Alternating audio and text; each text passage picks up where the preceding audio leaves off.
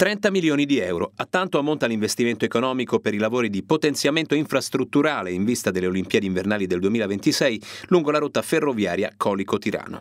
A meglio capire quali saranno i lavori in programma dal 26 giugno al 9 settembre e che tanto stanno già facendo parlare di sé, ci aiuta un comunicato di rete ferroviaria italiana reso noto quest'oggi.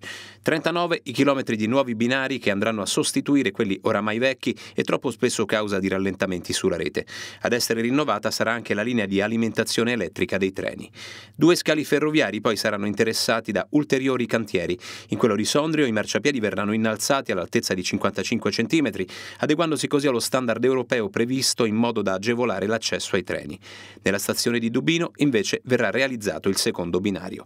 Lungo i 70 km che uniscono Colico a Tirano saranno poi rivisti per una manutenzione straordinaria tutti i ponti. Lavori decisamente importanti considerando che ad essere impiegati quotidianamente saranno circa 100 tecnici di RFI e delle ditte appaltatrici che lavoreranno ai cantieri per un totale complessivo di più di 70.000 ore di lavoro. Come ben noto, data la chiusura del tratto ferroviario, sarà un servizio sostitutivo di pullman a supplire alla mancanza dei treni. Gli orari delle corse saranno comunque consultabili sui canali web di Ferrovie dello Stato.